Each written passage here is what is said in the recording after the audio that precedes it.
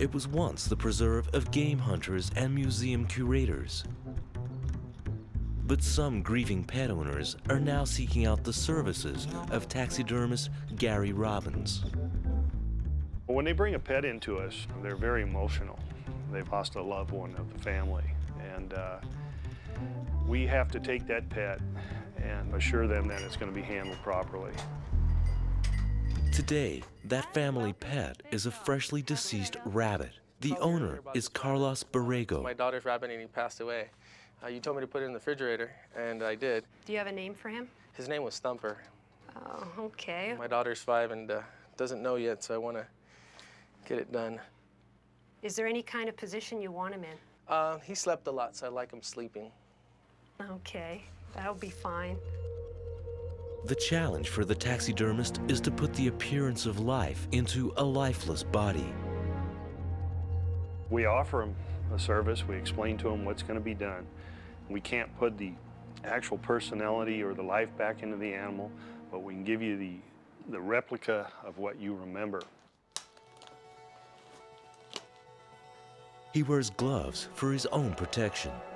Even a dead animal can harm him, potentially passing on diseases like anthrax, Lyme's disease, avian flu, even rabies. He uses traditional taxidermy methods to begin the operation. He skins the rabbit and removes the hide in one piece.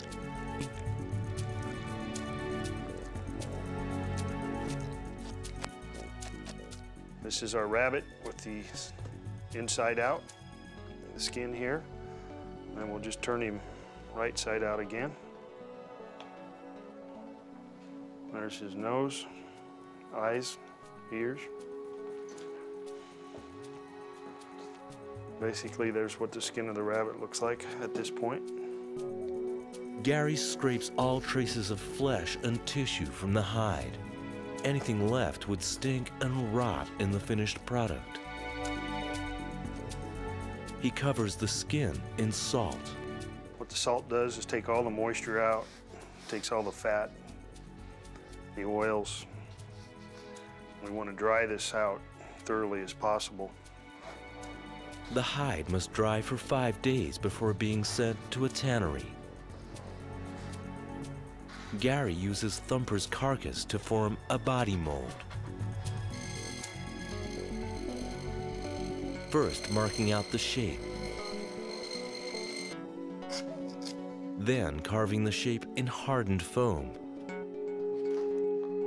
Pet taxidermy is a lengthy and expensive process. A rabbit like Thumper costs around $900. A large dog up to $2,500. And pet owners have high expectations.